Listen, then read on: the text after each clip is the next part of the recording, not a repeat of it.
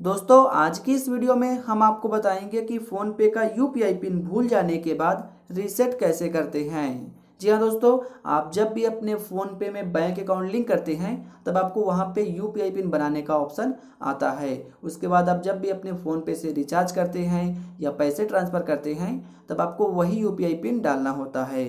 अगर आप अपना यूपीआई पिन भूल चुके हैं तो उसको अगर आपको रिसेट करना नहीं आता है तो आप इस वीडियो को लास्ट तक ज़रूर देखिए। क्योंकि मैं आज आपको इस वीडियो में बताऊँगा कैसे फ़ोनपे का यूपीआई पिन भूल जाने के बाद रीसेट करते हैं। तो दोस्तों, सबसे पहले आपको अपना फ़ोनपे ओपन कर लेना है। फ़ोन पे ओपन करने के बाद अब आपको यहाँ पे नीचे माई मनी का ऑप्शन होगा। आपको यहाँ पे माई मनी के ऑप्शन पर क्लिक करना है। माई मनी के ऑप्शन पर क्लिक करने के बाद आपको यहाँ पे एक ऑप्शन दिखाई देगा पेमेंट पेमेंट के नीचे यूपीआई लिखा होगा। आपको यहाँ पे यूपीआई पर क्लिक करना है। यूपीआई पर क्लिक करने के बाद आपके सामने कुछ इस प्रकार के इंटरफेस दिखाई देगा। यहाँ पे आपने जो भी अपना बैंक अकाउंट लिंक किया होगा, वो बैंक का नाम होगा और आपका अकाउंट नंबर के लास्ट के फोर डिजिट होंगे। इसके बाद आपको यहाँ पे एक एरो का निशान दिखाई देगा। आपको यहाँ पे एरो के निशान पर क्लिक करना है। एरो के निशान पर क्लिक करने के बाद अब आपको यहाँ पे आपके अकाउंट का पूरा ब्यौरा आ जाएगा। इसके बाद आपको यहाँ पे दो ऑप्शन दिखाई देंगे। पहला ऑप्शन होगा रीसेट और दूसरा ऑप्शन होगा चेंज। लेकिन हम यहाँ पे अपना अपना यू पिन भूल चुके हैं तो उसको रीसेट करना है। तो रीसेट करने के लिए आपको यहाँ पे रीसेट पर क्लिक करना है। रीसेट पर क्लिक करने के बाद आपके सामने कुछ इस प्रकार के इंटरफेस दिखाई देगा।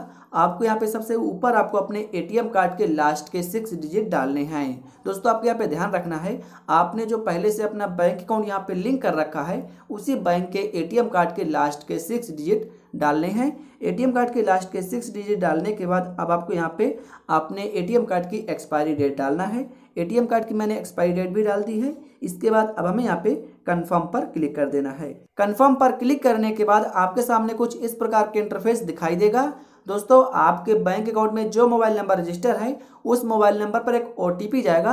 उस ओटीपी को यहाँ पे डालना होगा। तो मेरे यहाँ पे ओटीपी आ चुका है तो मैं यहाँ पे अपना ओटीपी डाल देता हूँ। यहाँ पे देखिए, मेरी ओटीपी है।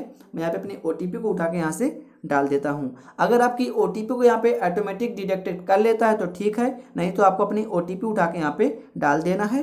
तो मैंने यहाँ पे अपनी ओटीपी डाल दी है। ओटीपी डालने के बाद यहाँ पे नीचे देखिए, आपको यूपीआई पिन सेट करने का ऑप्शन है। आप जो भी अपना नया यूपीआई पिन बनाना चाहते हैं सेट करना चाहते हैं, वो यूपीआई पिन आप यहाँ पे बना लीजिए। तो मैं यहाँ पे अपना यूपीआई पिन सेट करता हूँ। One, two, four, five, seven, eight, मैंने यहाँ पे डाल दिया। इसके बाद अब आपको यहाँ पे चेक मार्क पर क्लिक करना है। चेक मार्क पर क्लिक करने के बाद यहाँ पे हमसे फिर से अपना यूपीआई पिन कंफर्म करने के लिए बोलेगा। तो हम यहाँ पे फिर से अपना जो अपना यूपीआई पिन बनाए हैं, उसको यहाँ पे फिर से अपना यूपीआई पिन डाल देते हैं। तो one two four five seven eight हमने यहाँ पे अपना फिर से अपना जो यूपीआई पिन बनाए उसको डाल दिए हैं। इसके बाद हम यहाँ पे फिर से चेक मार्क पर क्लिक करेंगे। चेक मार्क पर क्लिक करने के बाद यहाँ पर देखिए, हमारा यूपीआई पिन सेट हो चुका है। यहाँ पे देखिए, लिख के आ चुका है। Your UPI PIN successful set तो दोस्तों, इस प्रकार से आप भी अपने फ़ोन पे का यूपीआई पिन भूल जाने के बाद रीसेट कर सकते